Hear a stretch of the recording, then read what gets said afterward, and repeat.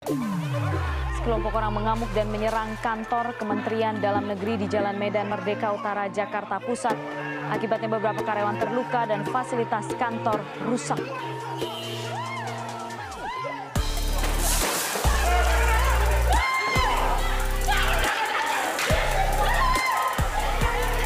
Aksi massa terjadi Rabu siang, kaca gedung, mobil yang terparkir, serta tanaman pot menjadi sasaran kemarahan massa.